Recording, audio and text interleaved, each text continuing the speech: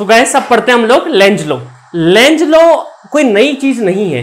हम लोगों ने न्यूटन थर्ड लॉ पढ़ा है ना every action has an equal and opposite reaction उसी की तर्ज पर लेंज लॉ भी है. एक्चुअली क्या हुआ कि फेराडे के इस एक्सपेरिमेंट में क्या हो रहा था कि जो कॉइल में जो करंट फ्लो हो रहा था कॉइल में. सपोज़ करो ये कॉइल था हमारा, ठीक है? ये कॉइल था हमारा. इस कॉइल में कोई ना कोई करंट अभी तो हमारा गैलोमीटर क्या करता है डिफ्लेक्शन शो कर रहा था. तो हमने जो एन और एस कोई भी जो मैग्नेट फेंका है तो इसमें जो भी करंट फ्लो होगा, जो भी करंट फ्लो होगा, अब देखो करंट फ्लो का डायरेक्शन हम बता नहीं सकते थे, ठीक है? फेराडे ने क्या करा, ये जो करंट फ्लो हो रहा है, ये एंटी क्लॉकवाइज में भी हो सकता था और क्लॉकवाइज में भी हो सकता है, दोनों पॉसिबिलिटी हो सकती थी। गैलोमीटर में क्या मिला था, हमें डिफ्लेक्शन मिला था।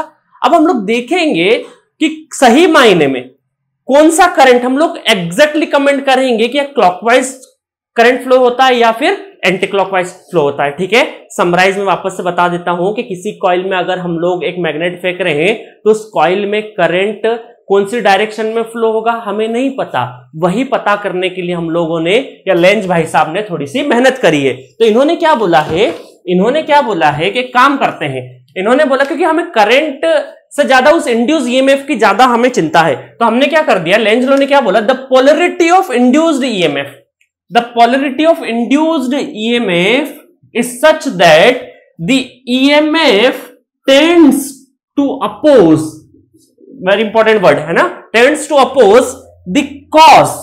किसका? किस, को, अपने ही कॉज का क्या करता अपोज करता है विच हैज़ इंड्यूस्ड इट तो चलिए स्टेटमेंट से ज़्यादा आपको समझ नहीं पड़ेगा बट स्टेटमेंट आपको इंटरव्यू के लिए काफ़ी काम आएगा, ठीक है? इतना समझिए आप सिर्फ़ और सिर्फ़ लेंज लॉ में कि cause of its it oppose the cause of its creation इस तरह से भी आप समझ सकते हैं। तो चलिए, अगर मैं देखता हूँ, दो एग्जांपल लेता हूँ। सपोज़ करो यहाँ पे कॉइल है।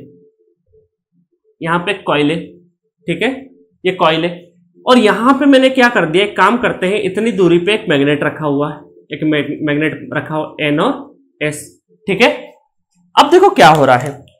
थोड़ी देर बाद हमें इसको समझाने से पहले मैं एक बेसिक चीज़ आपको बता दूँ कि आपको पता अगर ये कॉइल है एक कॉइल है और करंट इस तरह से फ्लो होता है, ठीक है? तो हम क्या कर राइट हैंड रूल कि चार, चारों फिंगर को हम लोग क्या करेंगे? करंट की डायरेक्शन में रखेंगे और रोल कर देंगे रोल कर देंगे। तो जो थंब दिखाएगा, वो क्या दिखाएगा? नॉर्थ का डायरेक्शन दिखाएगा। तो ऐसे अगर मैं करता हूँ तो अंदर की साइड में नॉर्थ है तो बाहर की साइड में क्या दिखेगा मुझे? साउथ दिखेगा। तो इसको मैं एस बोल सकता हूँ। अगर मुझे किसी कॉइल में करंट ऐसा दिखाई दिया तो मैंने क्या कर रूल क्या बोलता है? कि राइट हैंड आप लीजिए और उसकी चारों उंगलियों को उस करंट के ऊपर रख लिया और रोल कर दीजिए। तो जो थम दिखाएगा, वो क्या दिखाएगा? नॉर्थ डायरेक्शन तो इस बार देखो, इस बार नॉर्थ डायरेक्शन का आउटवर्ड अंदर की साइड क्या है? साउथ तो बाहर की साइड क्या दिख रहा है मुझे? नॉर्थ दिखाई दे रहा है। ठीक है? तो आपको क्या करना है? किसी कॉइल में जो भी करंट का डायरेक्शन है, उस डायरेक्शन में आपको हाथ रखना है, उंगलियाँ चारों कर्ल कर देनी है। और जो थम दिखाएगा, वो क्या दिखाएगा? नॉर्थ का डायरेक्शन ये रूल आपको ट्रांसफॉर्मर में काम आएगा, ठीक है? तो चलिए, वो रूल हम लोग यहाँ पे भी काम करते हैं। तो चलिए देखते हैं कि सपोज़ करो ये इस तरह से रखा हुआ है। अब मैं क्या कर देता हूँ? अब मैं क्या कर देता हूँ? एक काम करते हैं, एक काम करते हैं कि ये जो मैग्नेट रखा है, अब ये मैग्नेट अपनी एक्चुअल पोजिशन से मैं थोड़ा सा बढ़ा रहा हूँ। उस साइड में ले जा रहा हूँ, ठीक है? कॉइल के पास में ले जा रहा हूँ। कॉइल के पास में ले जा रहा हूँ इसको। मैं जैसे ही कॉइल के पास में ले जाऊँगा एन और एस ठीक है? तो कॉइल क्या होगी? देखो, ये मैग्नेट कॉइल के पास आना चाहता है। कॉइल के अंदर कौन सा करंट फ्लो होगा? कॉइल के अंदर करंट वो करंट फ्लो होगा जिससे कि जिससे कि ये मैग्नेट को वापस धका सके, वापस से दूर कर सके। मैग्नेट अगर पास में आना चाह रहा है तो इसकी कोशिश क्या रहेगी?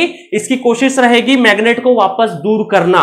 आई बात समझ में इसी वर्ड को बोलते हैं अपोजिशन है ना? और ये एग्जैक्ट पूरा अपोजिशन नहीं कर पाता है। ये कोशिश करता है इस वजह से क्या है? ईएमएफ टेंड्स टू अपोज आ रही बात समझ में? क्योंकि ये जो करंट आएगा करंट असल में कहाँ से आएगा? करंट करंट हमें तो करंट दिखाई दे रहा है बट करंट कहाँ से आ रहा है? अंदर के क्या हो रहा है? इंड्यूस ईएमएफ हो सकता है। इंड्यूस ईएमएफ इस पोलरिटी का या इस पोलरिटी का दोनों हो सकता है। ठीक है? अब हम देखते हैं। कि हमें करंट कैसा फ्लो करवाना है, हम करंट ऐसा फ्लो करवाना है कि इस मैग्नेट को दूर फेंक सके। अब मैग्नेट को दूर फेंक सके, इसका मतलब क्या है कि हमें बाहर, इधर के साइड साउथ दिखाना है और इधर की साइड क्या दिखाना है? नॉर्थ दिखाना तभी काम होगा, क्योंकि साउथ साउथ क्या करेगा? रिपेल करेगा और इस मैग्नेट को दूर कर देगा। ये मैग्नेट हम लोग पास में लाने की कोशिश कर रहे हैं। कॉइल क्या करेगा? इस मैग्नेट को दूर धकाने की कोशिश करेगा और उस दूर धकाने में क्या होगा कि साउथ इधर आना चाहिए और नॉर्थ इधर आना चाहिए। अब देखते हैं कि अगर मैंने करंट डाउनवर्ड कर दिया डाउनवर्ड कर दिया कर्ल को रखो कर्ल करा तो इधर की साइड नॉर्थ बिल्कुल आ रहा है नॉर्थ इधर साउथ आ रहा है। तो इस तरह से हम लोग क्या बोल देंगे कि डाउनवर्ड करंट इसमें फ्लो करेगा, तभी क्या कर सकता है ये? अपोज कर सकता है। तभी इसको क्या करेगा? इन दोनों के बीच में रिपेल होगा। रिपेल अपोजिशन होना चाहिए। ठीक है? अगर हम इसको पास में ला रहे हैं तो क्या करेगा? ये कॉइल के अंदर करंट इस तरह से फ्लो करेगा कि जो भी इंड्यूस में बनेगा, वो क्या करेगा? इसको वापस कॉइल को बाहर फेंकने की या दूर करने की कोशिश करेगा। चलिए तो यहाँ से हम लोग क्या बोल सकते हैं कि करंट का डायरेक्शन अगर मैं देखूँ तो डाउनवर्ड क्या बोल देंगे हम लोग? डाउनवर्ड डायरेक्शन डाउनवर्ड ये कई सारे एग्ज़ाम में भी पूछा हुआ है। डाउनवर्ड डाउनवर्ड करंट ठीक है? अब हम लोग एक और एग्ज़ाम्पल लेते हैं। सपोज़ करो मैंने क्या कर दिया है? सपोज़ करो मैंने, अब ये वापस से कॉइल ले लिया एक, ये वापस से कॉइल ले लिया, ठीक है? अब मैं क्या कर देता हूँ? अब मैं थोड़ी देर के लिए मैग्नेट को दूर करता हूँ। मैग्नेट को दूर ले जा रहा हूँ। जब दूर ले जाऊँगा, तब भी इनको दिक्कत है? एन और एस तब भी कॉइल को क्या परेशानी? नहीं, दूर नहीं जाना। हमारे पास में लेके आओ, पास में लेके आओ। ठीक है, तब भी दिक्कत है। तो यहाँ पे क्या होगा? जब मैं दूर ले जा रहा हूँ मैग्नेट को मैग्नेट को इस कॉइल से दूर ले जाने की कोशिश कर रहा हूँ, इस साइड में दूर ले जा रहा हूँ तो पास में लाने के लिए क्या होगा? इधर एन डेवलप होना चाहिए, इधर एस डेवलप होना चाहिए, तभी तो क्या होगा? अट्रैक्शन होगा। तभी तो क्या होगा? अट्रैक्शन अट्रैक्शन ठीक है? अट्रैक्शन होगा। तो यहाँ नॉर्थ लाने के लिए हमें करंट का डायरेक्शन क्या बनाना पड़ेगा? अपवर्ड बनाना पड़ेगा। अपवर्ड करंट फ्लो होगा। तभी तो कॉइल देखो अपवर्ड रखा हम लोगों ने करंट के डायरेक्शन में कॉइल थ्री डी कॉइल समझ लीजिए, अभी ऐसा रखा है। और हमने कर करा कर्ल कर दिया तो इधर क्या आ रहा है? नॉर्थ इधर क्या आ रहा है? साउथ तो नॉर्थ और साउथ क्या करेंगे? अट्रैक्ट करेंगे तो उस साइड में खींचने की कोशिश करेगा। तो दैट इज़ अपोजिशन इधर रिपेल इधर अट्रैक्ट इसका मतलब देखो क्या हो रहा है कि करेंट तो बाद में बन रहा है। करेंट ये जो करेंट आ रहा है करेंट आ रहा है, ये तो बाद में बन रहा है। ये किससे बन रहा होगा? इंड्यूस ईएमएफ की पोलरिटी से तो बन रहा होगा। इंड्यूस ईएमएफ की पोलरिटी डिसाइड कर रही होगी करंट किस तरह से फ्लो होना चाहिए? तो पहले इंड्यूस ईएमएफ डेवलप हुआ होगा, उसके बाद करंट फ्लो करा होगा तो हम करंट ना बोलते हुए डायरेक्ट किसको बोलेंगे? ईएमएफ को। या हम लोग किसकी पोलरिटी की बात करेंगे? ईएमएफ की पोलरिटी की बात करेंगे। अब पढ़िए statement the polarity of induced EMF is such that the EMF tends to oppose the which has induced it आरी बात समझ में? जो इंड्यूस हो रहा है वो क्या हो रहा? है अपोजिशन फैक्टर है। तो अब आई होप आपको समझ में आ रही होगी सारी चीज़ें इस एग्ज़ाम्पल से। ये कई सारे एग्ज़ाम्स में आया हुआ गेट में तो नहीं पूछते बट ये आइडिया आपको प्रॉपर आना चाहिए। क्योंकि कई लोग ये नहीं पता होता है कि करंट का अपोजिशन हो रहा है ईएमएफ का करंट बाद में आ रहा है कॉइल में। ठीक है, पूरा का पूरा कहानी हमारी फेराडे एक्सपेरिमेंट से जुड़ी हुई है। फेराडे एक्सपेरिमेंट ने क्या दिखाया? गैल्वेनोमीटर में हमें क्या दिखाया? डिफ्लेक्शन दिखाया। और वो डिफ्लेक्शन क्या? करंट के फॉर्म में था। बट डिफ्लेक्शन के पहले क्या आया था? इंड्यूस ईएमएफ आया होगा। उस इंड्यूस ईएमएफ को ही हम लोग आगे चल के लेके चल रहे हैं। क्योंकि इंड्यूस ईएमएफ जितना ज़्यादा होगा, उतना ज़्यादा हमारा क्या होगा? करंट होगा। ठीक है गाइस तो यहाँ पे हम लोगों ने देख लिया कि जब ये हमारा मैग्नेट हम लोग कॉइल के पास में ले जाना चाह रहे तो कॉइल के अंदर जो भी इंड्यूस ईएमएफ डेवलप हो रहा है, वो क्या बोलेगा? कॉइल को दूर ले जाने का बोलेगा। मतलब कोई भी हमारा every action has an equal and opposite reaction तो यहाँ इक्वल तो नहीं बोलेंगे टेंस टू अपोज मतलब पूरी तरह से अपोज नहीं कर पाता है, क्योंकि मशीन इसी पर वर्क करती पूरी तरह से अपोज कर देगा तो नहीं काम चलेगा। हम कोशिश करेंगे अपोज करने की और बहुत ज़्यादा हद तक 80 परसेंट टाइम हम लोग अपोज कर देंगे, उतने में हमारा काम हो जाएगा। उसी अपोजिशन के कारण हमारी मशीन घूमती है या फिर हमारा इंड्यूस ईएमएफ या जो टॉर्क डेवलप होना, ये सारी चीज़ें आगे चलती रहेगी। तो चलिए, अब मैथमेटिक्स की बारी आई है। अब नॉर्मल लोगों को हम लोग ऐसे नहीं समझा सकते, ठीक है? अब हम लोग को समझाने की बारी आई तो इस अपोजिशन फैक्टर को हम लोग क्या करें? इंट्रोड्यूस करें। अगर मैथमेटिक्स से तो हम लोग क्या बोलेंगे? Equal to induce EMF equal to minus sign से डिनोट करेंगे N D five by T तो ये जो माइनस साइन है, ये असल में हमारा अपोजिशन का साइन है, अपोजिशन अपोजिशन का। कि जो भी इंड्यूस ईएमएफ हो रहा है, वो अपोजिशन में हो रहा है, ठीक है?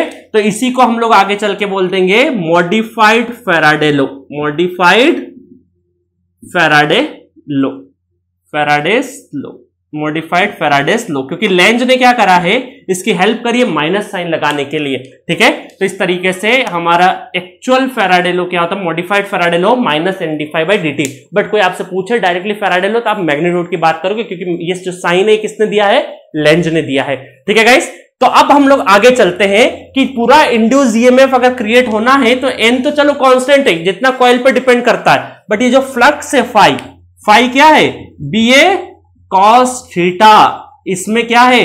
किसी भी इन तीनों में से बी ए और theta cos theta cos theta theta B A cos theta तीनों में से अगर एक भी चीज़ वेरिएबल हो गई तो हमारा चेंज इन फ्लक्स हो गया। देखो, इन तीनों में से क्या हो गई? एक भी चीज़ वेरी हो गई आइदर बी वेरी हो जाए ए वेरी हो जाए या थीटा वेरी हो जाए। इन तीनों में से एक भी वेरी हो गई तो क्या हो गया? वेरिएबल फ्लक्स हो गया और वेरिएबल जैसे ही फ्लक्स हुआ तो हमारा इंड्यूस ईएमएफ डेवलप हो गया। क्योंकि कांस्टेंट अगर फ्लक्स हो गया तो क्या हो जाएगा? डिफरेंशिएशन ज़ीरो तो क्या बोल सकते हैं? आज से हम लोग flux flux is like a blood in human body अगर जब तक सर्कुलेशन में, जब तक क्या है, हमारे अंदर इंड्यूस ईएमएफ डेवलप हो रहा है, हम ज़िंदा है। जैसे ही अगर ठहरा हो गया ब्लड का, या हम लोग क्या बोल सकते हैं? कॉन्स्टेंट हो गया ब्लड सर्कुलेशन बंद हो गया, इसका मतलब क्या हुआ? हम डाई आउट हो सकते हैं, क्योंकि उस टाइम पे इंड्यूस ईएमएफ मशीन में डेवलप नहीं होता है। तो हमें क्या चाहिए? ये फ्लक्स वेरिएबल चाहिए विद रिस्पेक्ट टू टाइम चलिए देखते हैं किस तरह से और टाइम देखो टाइम के रिस्पेक्ट में भी हो सकता है, किसी और रिस्पेक्ट में भी हो सकता है। मुद्दा ये है कि इन तीनों में से फ्लक्स के अंदर क्या? B A cos theta B A और थीटा इन तीनों में से अगर एक भी चीज़ वेरिएबल हो गई तो हमारा काम आसान हो जाएगा। चलिए दिखाते हैं एक एक चीज़ को वेरी करके कि किस तरह से मशीन बनती है। ठीक है गाइस